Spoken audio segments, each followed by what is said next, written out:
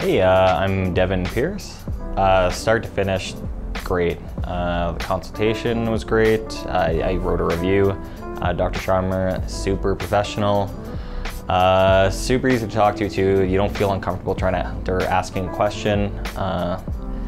Uh, yeah, really down to earth. The whole the whole staff here from from start to finish. Uh, the procedure, great. Uh, the food that was given, great. Uh, it was just, it was really relaxed. It was, it was a great experience from uh, start to finish. I'm living a hatless life.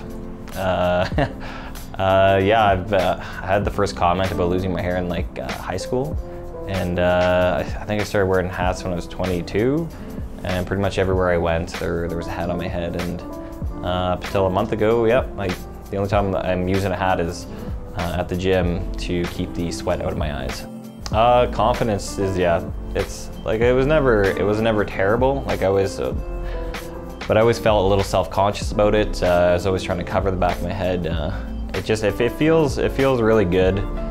Because uh, I, I am younger, 20 or 34, and uh, and yeah, I, I've been losing my hair since I was 22. So to kind of get brought back into my 20s, it kind of feels like, and uh, yeah, just just walking around, even just talking with people, not more focused on what they have to say instead of focusing on if they can notice my hair. So uh, day to day, it's it's been it's been great.